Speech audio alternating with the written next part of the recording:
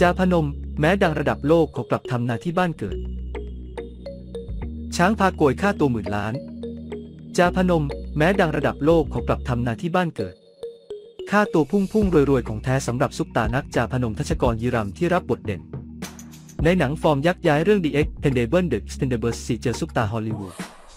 แน่นจอเช่นซิลเวสเตอร์สตอลโลนซิลเวสเตอร์สตอลโลนเมแกนฟ็อกเมแกนฟ็อก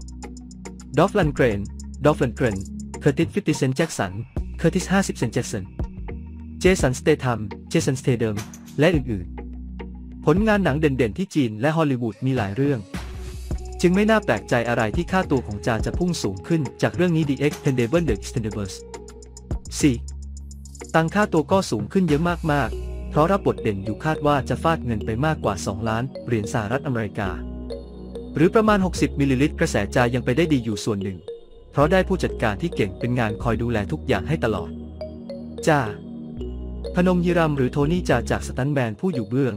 หลังจนก้าวมาอยู่เบื้องหน้า พร้อมแจ้งเกิดจากหนังเรื่ององค์บาก ในช่วงสถานการณ์ผ่านมาได้เดินทางกลับสุรินทร์พักผ่อน และใช้ชีวิตที่บ้านนาแบบสบายๆแฟนฮ่าฮ่า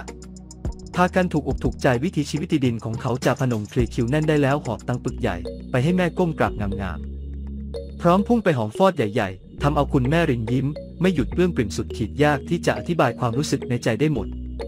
แม้ว่าจะดังไปไกลถึงระดับโลกแล้วนั้น เขายังไม่ลืมบ้านเกิดจากถิ่น ที่เขามาโดยไลฟ์สไตล์ การใช้ชีวิตที่ต่างจังหวัดกับครอบครัว ใช้ชีวิตที่แบบพอเพียงเรียบง่ายเขาได้เผยภาพความน่าประทับใจของเขากับครอบครัวกลับบ้านเกิดที่สุรินทร์พร้อมหน้าครอบครัวอบอุ่น หลังกลับมาพักผ่อนบรรยากาศที่แสนสุขตามทุ่งนาอีก ทั้งอากาศดีอีกด้วย